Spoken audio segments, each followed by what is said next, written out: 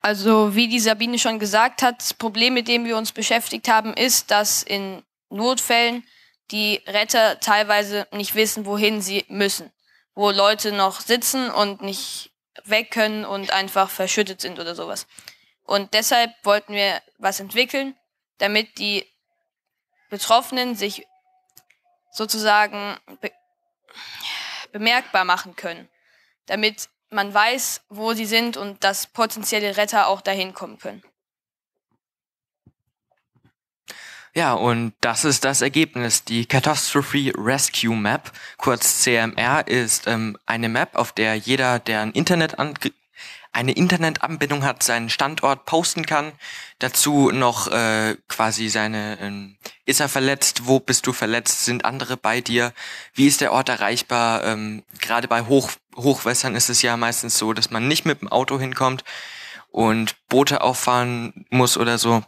Ja, das kann man alles äh, posten und sich für andere eben ähm, ja bemerkbar machen. Das ist auch für die Retter dann äh, nützlich, weil einzelne Retter posten können, da gehe ich hin, da muss kein zweiter hin, so dass äh, am Ende nicht zwei, drei Rettungsteams vor einem Verletzten stehen, der eigentlich nur eins gebraucht hätte.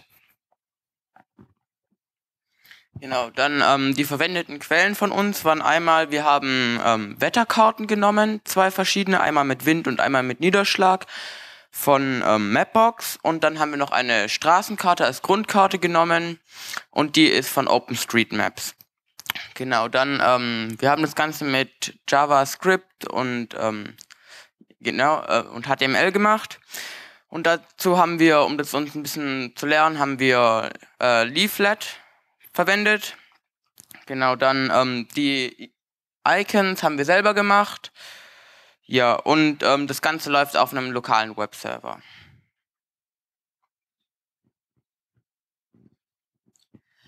Hier sehen Sie noch ein paar von vielen Icons, die verwendet werden können, um Punkte auf der Karte zu markieren oder zu markieren, wie man zu diesen bestimmten Punkten kommt.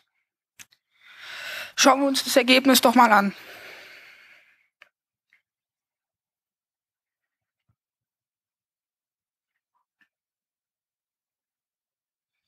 Genau, also das hier ist jetzt unsere äh, der lokale Webserver. Sieht man hier, wir haben die Karte. Die ähm, richtet sich quasi nach dem GPS des ähm, Geräts aus. Und dann können wir hier sagen, was wir auf die Karte drüberlegen wollen. Zum Beispiel hier die Wetterkarte mit dem Regen oder mit dem Wind.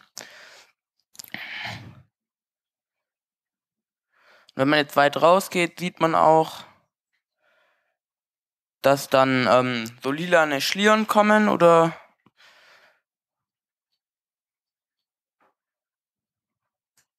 Ja, dann sieht man so lilane Schlieren.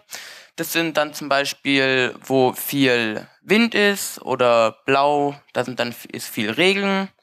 Genau. Dann, ähm, wir haben links dann zwei große Fenster, einmal mit I am needing help. Wenn man den drückt, dann kommt da, wo man gerade ist, ein Punkt. Zum Beispiel jetzt hier in Ulm bei uns.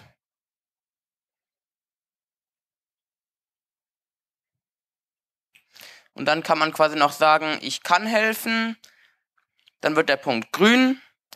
Oder here is food zum Beispiel. Dann kommt so ein Essenssymbol und das kann man dann auch woanders hinziehen.